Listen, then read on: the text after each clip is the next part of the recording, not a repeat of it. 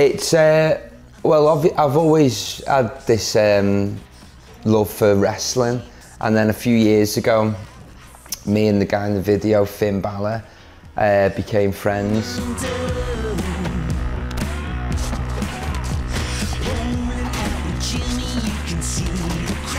And then it's always been like a, a I wouldn't maybe I was going to say guilty pleasure then, but just like I don't know. I've always had like a dream to do like a fighting thing or something.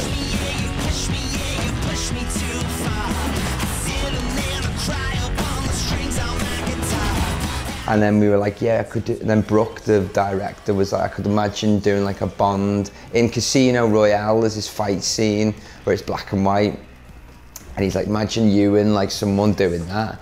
And I was like, yeah, what if we get like Finn, the wrestler, or I can ask him. So it just came about like that, really. And um, but it's mega. I'm really sort of, you know, pleased with it.